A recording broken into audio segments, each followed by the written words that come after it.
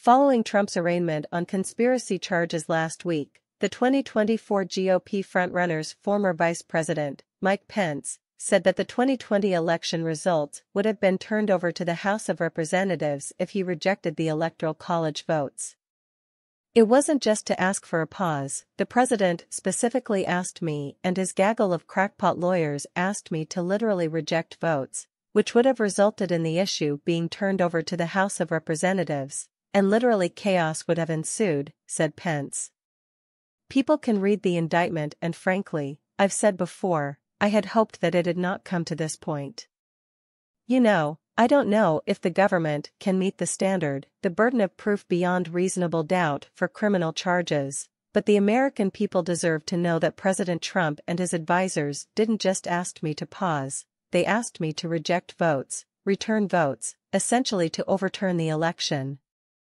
On Thursday, Trump was arraigned on charges of conspiracy to defraud the government, conspiracy to obstruct an official proceeding, obstruction of and attempt to obstruct an official proceeding, and conspiracy against rights.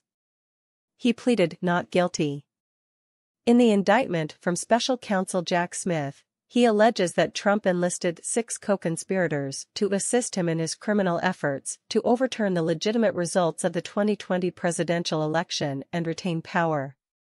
The indictment alleges that Trump was determined to remain in power after the 2020 election, and for the two months following the election the defendant spread lies that there had been outcome determinative fraud in the election and that he actually won.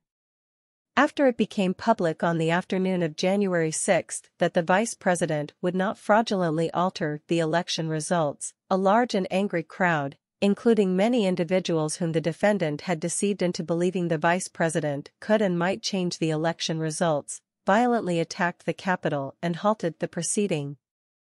As violence ensued, the defendant and co-conspirators exploited the disruption by redoubling efforts to levy false claims of election fraud and convince members of Congress to further delay the certification based on those claims, the indictment stated. Pence is currently running against his former administration partner for the GOP nomination, with Pence usually polling in the single digits while Trump leads anywhere from 40 to 60 points.